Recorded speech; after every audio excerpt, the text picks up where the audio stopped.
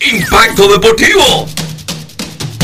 Se abren los micrófonos para Cristian Rojas, para Franklin Núñez, para Daniel Araujo, para Jordaniel Abreu, Karen Ozuna, Penny Páez y Diego Campos. Desde ahora se vive lo mejor del deporte en Impacto Deportivo. Impacto Deportivo. Impacto Deportivo. Hey, saludos a toda la República Dominicana. Sean bienvenidos a Impacto Deportivo, la alegría al mediodía. Dos horas completas de muchísima información, muchísimo entretenimiento deportivo para que usted disfrute de 12 a 2 a través de Caliente 104. Todo este contenido que traemos para ustedes hoy lunes. Miki en los controles, Cristian Rojas, Jordani Labreo Franklin, Núñez, Don Daniel Araujo, contando con la compañía de todos ustedes que hacemos posible que este programa todos los días de 12 a 2 sea el toque de queda al mediodía. Bueno, también reiterarles que pueden sintonizar todo este contenido en nuestro canal de YouTube Franklin Mirabal Deportes. También enlazar si estás en el exterior o en algunos lugares donde no llega la señal de caliente, pues entonces usted va a nuestro portal franklinmirabal.com y ahí enlaza el audio de impacto deportivo nítido. Y en nuestro portal para los artículos que, bueno, espérense, Mickey, con aplausos, porque ayer se recibió el premio como mejor periódico digital el portal impactodeportivord.com. Así que dando tablazos de inmediato con esta reapertura de este periódico y hay que decir que el contenido que se está colgando ahí es un contenido premium, informativo, ilustrativo e histórico en los portales digitales de la República Dominicana. Bueno, y sin más preámbulos, la bienvenida de manera formal a don Jordani Labreu. Saludos. Saludos, señor Rojas, Franklin Núñez, Daniel Araujo, también al Mickey y todos los amigos que sintonizan siempre Impacto Deportivo. Hoy hay un tema interesante que más adelante usted estará detallando sobre cuál es, pero vamos. Hay muchos temas interesantes. Eh, digo para iniciar el programa. No, por ahí muchos. Saludos, Hay- Franklin hay Núñez. No, uno, hay varios. Gracias, gracias. Buenas tardes, saludos Cristian, Jordan, Daniel, Mickey entre los controles y todos los que nos escuchan. Sí, el 1, el 2, el 3, el 4, el 5, el 6 y todos los que tuvieras son interesantes. Buenas tardes, Daniel. Saludos Franklin Núñez, eh, Mr. Cristian Rojas, Jordan Abreu, Mr. Mickey y a todo el que sintoniza. Impacto Deportivo Radio, la alegría de todas las tardes, preparados como siempre, al pie del cañón para meterle mano a cada uno de los temas deportivos, tanto nacionales como internacionales. Señores, ayer parece que Quinito Méndez estaba de moda porque, ojo, por todos esos palos que se dio en la pelota dominicana. Un juego 16 a 2, el otro 14 a 4. Práctica de bateo. Pero práctica de bateo. O cuidado si es que eh, eh, hay como lo que pasó ayer, como muchos profesores que empiezan a pasar examen arreglando promedio. Ahora, yo creo que lo, el, el- hablando de palos, el, el más, no voy a decir eh, dramático, porque fue un, pa- fue un batazo con las bases llenas, obviamente, pero impresionante es la palabra. El tablazo de Framil Reyes ayer, yo creo que fue el más impresionante de la jornada. Bueno, Pero qué tablazo dio De la, mole. temporada, dio algo así. Ah, se ha registrado un, un estacazo más largo. Yo fue no- y, y- 400. y el de Aristides Aquino, de que no fue. No, Bueno, el de Ariste fue lejos también. Fue lejos, pero, pero la, esti- la- la distancia estimada según Baseball Data fue de 404 pies. Sí. ¿Y el de Aristides? El de, el de, el de Framil, de 463. ¡Wow! O sea que él voló todo ese tipo de valla que había ahí, prácticamente. Eh, fue, Wow, podría ser, yo no a los sé. gallos Batista, a los No, debe ser el palo más largo de esta temporada por Tiene- mucho. Sí, tiene que ser, yo creo. Y debe ser de los más largos en mucho tiempo. Yo, yo, no, yo no he visto un palo tan largo. no, no, no, tú- si es del escogido tú no has visto. No, porque, porque, porque te digo, por un tema de que cuando Juan Francisco jugaba en la capital y estaba en el pico de su carrera en un momento, que daba esos cuadrangulares kilométricos, no se registraba un, si- un tipo de distancia.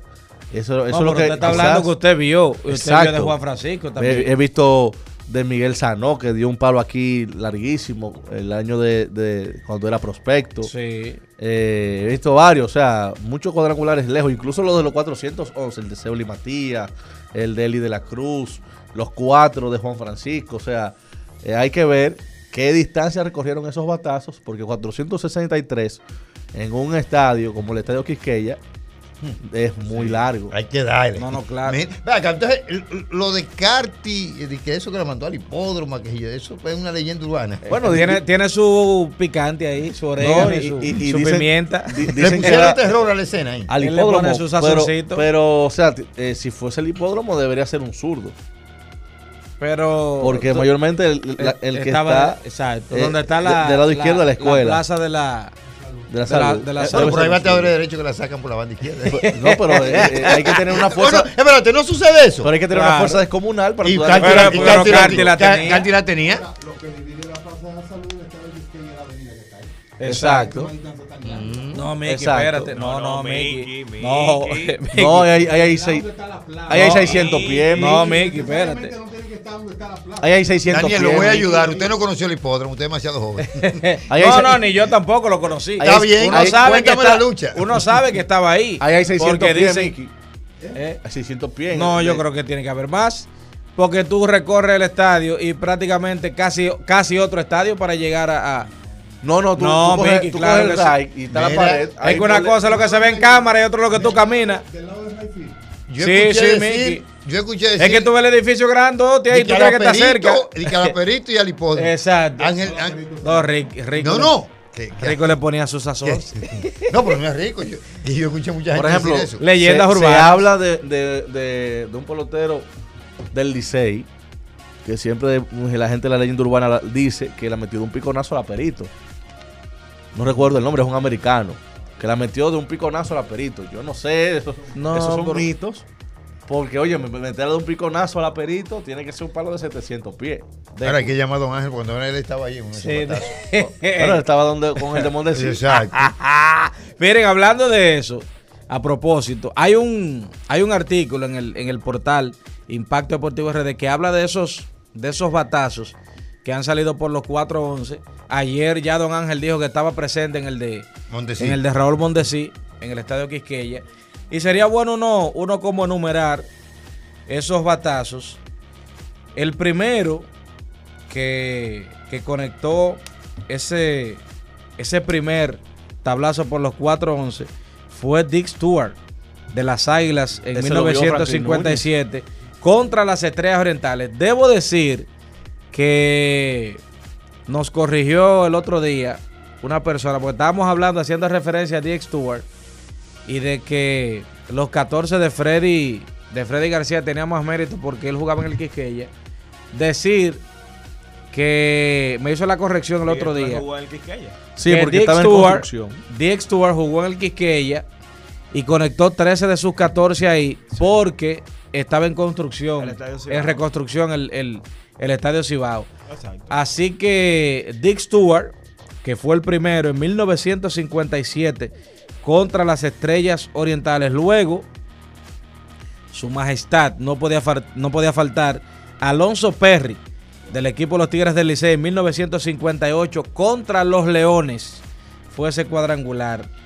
Bueno, y- ese cuadrangular de Perry fue ante Fred Kipp, que venía de ser lanzador del año la temporada anterior, Wow. con una efectividad de 1.58. Y el año en el que le conecta el cuadrangular tuvo un tremendo temporadón, donde lanzó 78 entradas con efectividad de 2.41. O sea, que tiene el mérito también de aquel lanzador. Sí. Se lo dio. Estamos hablando de uno que era de los mejores lanzadores de la liga en ese momento. Eso es como Sí. que hoy Framil se la saque por los 4-11 a César Valdés. Exacto. Pero el del año pasado, no el de este año. Señor, y la gente habla, pero O a Pablo Espino, dígalo los así. 400. Bueno, a Pablo Espino. No, porque César Valdés fue el ganador del lanzador del año la temporada Ah, bueno. pasada.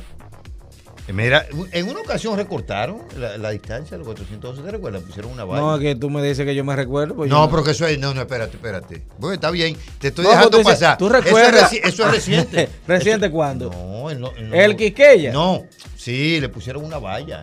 ¿Al Quisqueya? Sí. ¿Pero en- un juego en- de softball? No, en un juego de. Para una Tú ves, yo no, Ah, no sabía eso. Yo no sabía eso. Miren, el otro, que lo mencionábamos el otro día aquí entre los refuerzos, Frank Howard, del escogido en 1960 contra los Tigres del Licey. Ese fue el tercero que, que lo conectó. Daniel, tú tienes el nombre del, del lanzador al cual Frank Howard le conectó el cuadrangular. Se lo conectó a Manuel Polanco, que lanzaba para el conjunto de los Tigres del Licey. Eso ocurrió el 17 de enero, específicamente del año 1960. Eso fue en playoff, en la final. Sí. Bueno, entonces él se une a un grupo eh, muy reducido de, de- de ese tipo de cuadrangulares en, en una, en una serie final, porque Juan Francisco también es parte de ese club. Pero nosotros de ahí, de Frank Howard, tuvimos que esperar 41 años para ver a otro jugador sacarla por los 411. Y fue... 40 o 31. No, no, no. Ah, no, no, espérate. No, no, porque eh, Bernardo Brito, por ejemplo, Sí. conectó uno en el 90 específicamente, Sí. 30 años después. Sí, Exacto. lo que pasa es que en el orden aquí está Israel Alcántara, pero si el Pupo Brito en 1990 y Mondesi en el 95 contra el Licey lo hicieron antes de Israel Alcántara, que lo hizo en el 2001. Esos son, en el caso de del Pupo Brito, se habla de que fue uno de los batazos más descomunales por el center field, de los que volaron el, El paredón. el paredón del, del jardín central. Ah, la clara. La- las leyendas urbanas. No, porque yo no estaba, Franklin, ¿oíste? Franklin debe de saber ese. Ah, bueno, Franklin sí. Franklin, ¿usted vio el del Pupo Brito? No, el día que tú me lo estabas enseñando. yo- fue en el 90, Franklin. Claro, Franklin ya tenía. Franklin y Aime Riva estaban reportereando ya en el 90. Ahí en el Quiqueya. Miren, otro. Después, bueno, eh, mencionamos ya el Pupo Brito en el Mondesi. 90. Mondesi en el 95, que Don Ángel Fernández estaba ahí en el estadio ese Bueno, día. se fue el jonrón que le dio los 3 mil pesos ayer a, a, a Don Bueno, Ángel. sí. Así que un saludo a Raúl Mondesi que hizo que Don Ángel se llevara 3.000 malangas. Antes de que usted siga mencionando los nombres del listado, Adelante. un saludo a mi amiga y hermana Anabel Vincent, que está en sintonía en alguna parte del país. Saludos para ella, un saludo muy especial, sintonizando el principal programa deportivo del mediodía. Pero no son esos saludos como los de Jordaniel, ¿verdad? No, no, Ah, nunca así. Esos son de amistad de verdad. Perfecto. Entonces, ¿por qué usted se ríe? Ah, bueno, está bien. Entonces, nos vamos 2004, donde Henry Rodríguez, el matatán azul, Oh, conectó, Henry. conectó un cuadrangular en su regreso a la pelota dominicana, porque él había... Él, ver. Ah, no, no, no, no. Él se ausentó un tiempo. Eh, sí, lo que pasa es que Henry lo hizo en dos ocasiones. No, Henry No. Mercedes fue el otro. Bueno, aquí está Henry Rodríguez. Licey contra Gigantes. No, pero el otro ah, es- bueno, sí, e- es, Henry Mercedes. Mercedes, Henry Henry Mercedes y Henry Rodríguez. ¿Jugando con quién? ¿Con el Liceo? o Con el escogido, Con Henry Mercedes. ¿Cuándo, cuándo Sí, yo- con- ese, sí- ese sí yo lo recuerdo. Jugando con el escogido. debe ser el único catcher que lo ha sacado por ahí. Eh, del listado. Sí, no hay otro catcher. Vamos a checar. Bueno, sí. Entonces, Henry Rodríguez, Henry Mercedes y Henry Rodríguez lo hicieron 2000 y 2001. Exacto. No, 2001 y 2004. Félix José, 2005, Estrellas contra Leones. Sí. Y después de Félix José, entonces, Que yo no sé si ese de Félix José fue, para romper el récord de Carti. Yo no, no recuerdo bien, por- pero yo creo que ese fue uno de los últimos honrones de Félix venga, José. para que nadie recuerde en este grupo, O sea, eh, lo que pasa es que él se hablaba, yo lo vi en televisión, ese honrón. eh, está escondiendo cédula aquí, que na- nunca nadie di que se acuerda ni estaba presente. No, yo lo vi en televisión. el Nada más Don Ángel, José. nada más Don Ángel se dio todos esos tablazos. Y, y yo, yo entendí en el momento que era empatando o rompiendo el récord de Carti. No, no recuerdo si era rompiendo el récord o si ¿Con era cuántos bueno, bueno, terminó Carti su carrera? 59 y, y yo no sé si ese fue el 60 de Félix José. No, pero no creo que haya sido el 60, ¿no? Es que ese fue el último año de Félix José. Pero Sí. es probable, es probable. Es probable. Ese último año él solamente conecta cuatro cuadrangulares. Y estamos hablando de que eso llegó 16 de noviembre. Bueno, ya se había jugado la primera mitad. Faltaba un buen tramo todavía de la serie regular. Sí, porque si hubiese sido el 60, hubiese tenido una connotación Mayor. mm, mayor. Entonces, eh, de ahí entonces tenemos que saltar a, a Juan Francisco. que lo hizo cuatro veces. Lo hizo en la primera ocasión con el uniforme de los gigantes y contra el Licey en 2010. Luego, en 2011, también con el uniforme de los gigantes contra el escogido. Entonces ya 2013, En 2010 fue una diferencia como de dos semanas. exacto. 2013 con el Licey ante los Toros, ese batazo Ese debe ser más largo. de todos me parece 411. que fue ante, ante Fran Garcés, creo, porque era zurdo contra zurdo. Y Juan Francisco, en una fiesta de palo de los Tigres, 16, 16 carreras hicieron los Tigres. Incluso Sí, Valdespín la sacó con la base llena, la sacó Sí. Profar en ese juego, la sacó Yamaico Navarro. Atención, La sacó. atención Franklin Núñez, ese sí, yo, ese, sí, ese sí yo estaba. Entonces, ah, espérate, aquí falta uno de Juan Francisco, Bueno, el, de- el del playoff. el de la de serie la final, de 2014. que fue ante- ante el derecho Valdés, Eduard Valdés. Eduard Valdés, ¿Qué, qué el año de fue? ¿Qué año 2013, fue? El- 2014. El jonrón de, el de- busca la fecha de, de- Eso de- fue del el de Félix 21 José, por de enero del 2014. sí, el, del torneo de la final 2013-2014, El- que fue ante el escogido. la fecha de Félix José fue 19 de noviembre que tú dijiste. 16. de 16. noviembre. El 19 él rompió el récord de, de Rico Castro. Ah, bueno. Posiblemente Pues- se fue para empatar. Exacto. Entonces Juan Francisco es el único que lo ha hecho dos veces. Más de dos. De Pero- más de una. Pero exactamente, el único que lo ha hecho dos veces o más. Y no lo hizo dos o tres, lo hizo en cuatro ocasiones. Extraordinario. Sin lugar a dudas lo de Juan Francisco. Ese fue el cuadrangular número 13 porque son un, un total de 15 que se han conectado a lo largo de la historia de la pelota dominicana. El 14, yo sí sé que este todo el mundo lo va a recordar, que fue el de Seuli Matías. Sí. El 10 de diciembre del 2020, que se caracteriza porque fue un palo acechado. Sí. Sí. Aquí en el estadio Quiqueya, claro. Estaba narrando el rey, Franklin Eh. Mirabal. Tú sabes que ese día no le fue bien al Licey. Ese día yo recuerdo que los gigantes castigaron a los Tigres. Y por último, entonces, el de Eli de la Cruz, que fue la temporada 2022 contra las estrellas el año pasado. El único, me parece, que lo, Que lo ha hizo en hecho su año de novato. En su año de novato. Sí. Eli de la Cruz. Ninguno de los demás lo hicieron en su año de novato. Y si lo pesamos a todos, yo creo que Eli también es el de menos, el de menos libras que él ha sacado por ahí. El otro más, quizás un poquito espigado, es Seuli Matías, pero Seuli Matías tiene, Tiene mucho fuerza, más, tiene mucho más físico que, que Eli de la Cruz. Así que ahí están, ahí están los que los que la han sacado por los 400. Ahora, me, me sale ahora mismo, que ustedes dicen ese listado, la pregunta. Jugadores activos que tienen la capacidad de dar un jonrón por, el, por los 400 hombres. Empezando por Framil Bueno, Reyes. Framil Reyes. Framil Reyes, de los Leones, va- vamos por equipo. Fram- Pero, pero vam- vamos a establecer algo. Vamos a establecer Sí. algo. Aquí se han conectado muchos honrones de 411 pies. sí. Lo que pasa es que aquí solamente se toma en cuenta lo que han sido por el center field del Quisqueya. Exacto. Pero hay batazos que no necesariamente son por el center y que son en otros estadios que han tenido esa distancia. Sí. Eso hay que tenerlo claro. Sí. Pero por equipo, por ejemplo, que tiene, que, que uno entiende, porque eso es, es- es una, una confluencia de muchos factores. Una un día puede, también. un día puede, o sea, se puede combinar en un momento un gran contacto con un clima favorable, un ángulo de la pelota que, claro. que permita que, que tenga vaya. un Y la exacto, elevación también. que tenga una, exacto, el ángulo de todo, muchos factores influyen. Entonces, en el escogido, Framil es el hombre. Fran Mil y, y Aderlin Rodríguez. Aderlin- tiene fuerza tiene-. Christopher Morel tiene. Claro. Eh, Sí. Él ha dado cuadrangulares en grandes ligas. Sí, sí, sí. Pero lo que pasa es que como yo no sé si aquí en grandes ligas el viento como Bueno, que juega- juega en corta Chicago. menos, corta menos, porque él ha dado En, en las estrellas está Miguel Sanó y John Ahora, la, Noel. la- la pregunta es. del millón. Juan Francisco todavía está en... Condiciones. bueno, la fuerza está ahí. Aunque John Kensi dio dos honrones el otro día en San Pedro.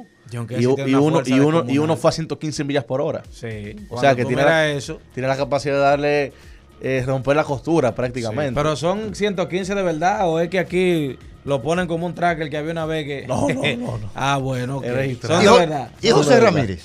No, no, No, no. no, no creo, Es que. José Ramírez Es un jugador, un jugador de banda. un jugador de muñeca. de muñeca. Eh, da jonrones no de comunales, sino sabe, sabe batear. Sabe, sabe- No, el ángulo. Y Carlos y, y Peguero. Carlos Sí, Peguero, sí. ese sí, ese sí. De los gigantes Carlos Peguero. Peguero, sí, claro. Uno, claro. podría, uno podría incluir a José Siri ahí, porque José Siri ha dado unos palos en José grandes Siri, ligas. hay, que, hay que incluir otra vez a Juan Francisco obligatoriamente, está activo. O sea, Siri sí y Ramírez no. No, lo que pasa es que José Ramírez es un tipo de fuerza, pero por el ángulo del center field. Pero José Siri dio más honores que José Ramírez en menos juegos este año. no, no, pero espérese, espérese. Porque José, Siri- eh, José Ramírez ha dado 35 jorrones en Grandes Ligas. Sí, Y pero- José No, Siri no, pero no. José Siri tiene más fuerza que José. que Exactamente, José No, no, no, pero decir. que no diga por la cantidad de No, cuadrangulares, que pero eso no es diciendo eh, el- es por el tema de la fuerza. O sea, Siri nunca ha jugado una temporada Pero fuerza completa. es una cosa y la cantidad de Pero por eso te digo, Siri nunca ha jugado una temporada completa y vimos ya este año lo que podría hacer él en caso de jugar por lo menos 140 Por los juegos, toros. ¿no? Nadie, nadie en los ¿De toros. los toros? Nadie. No, No, no, en los sé. toros no hay fuerza. No. En... O sea, que la fuerza no está en los toros. La fuerza no está en los toros. Entonces en el en el Liceo hay unos cuantos, porque ya uno tendría que incluir a Eli, a Eli de la Eli Cruz. de la Cruz, Ronnie Mauricio. Yo diría que Ronnie Mauricio tiene, tiene O'Neal capacidad. Cruz. Ronnie Mauricio dio un palo este año en ligas menores de fue como de 400 como de 450 No, y Eli de la Cruz, el primer jonrón fue de 450. No, pero que ya Eli de la Cruz le dio por ahí. Por ya. Eli de la Cruz hay que ponerlo automáticamente. Sí. Tienen ahí, bueno, Jorge Alfaro, ¿usted cree que Ariti de aquí Ese sí. Sí, Ese Ariti de sí. aquí no también hay que meterlo ahí en Que el ayer paquete. también la volvió a sacar. Sí, está, está bateando bien Ariste Aquino. Bueno, ahí yo creo que están todos ya los que potencialmente podrían sacarla por los 4-11 del estadio Quisqueya Juan Marichal.